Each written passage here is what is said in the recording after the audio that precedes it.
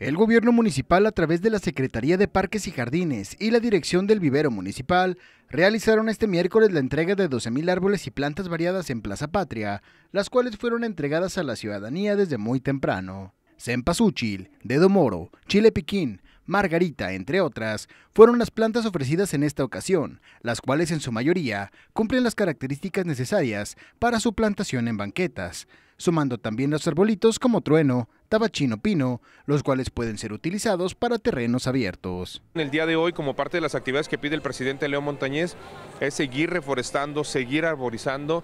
Estamos en una campaña de entrega ahorita de 12 mil plantas, 12 mil especies, 12 eh, mil piezas, perdón, de las cuales son 9 mil plantas ornamentales. Estamos hablando como cempasúchil, como dedo moro, eh, chile piquín, eh, celosía, margarita, lavanda, ajillo, entre muchas otras, y 3.000 árboles como el trueno, como el tabachín, como tenemos algunos ahí, algunos pinos, eh, algunos pinos, entonces tenemos algunas especies ideales para las banquetas, otras no tanto, pero que pueden ser utilizadas en los jardines abiertos sin ningún problema de afectación en las banquetas.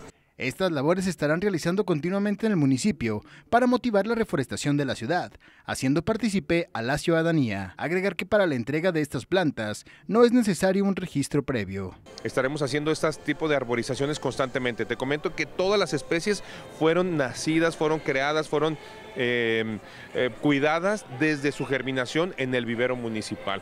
Posteriormente ya cuando logran una pequeña madurez que pueden ser trasplantados a su pequeña bolsa para posteriormente llevarlas a las macetas o llevarlas a los jardines. Cabe mencionar que este programa no sustituye la entrega de árboles realizada los jueves en el vivero municipal, por lo que la ciudadanía aún tiene la oportunidad de acudir a solicitar su ficha desde temprano hasta el último jueves de octubre. Con imágenes de Roberto González y edición de Raúl Moreno para Quiero TV, Eduardo Mendoza.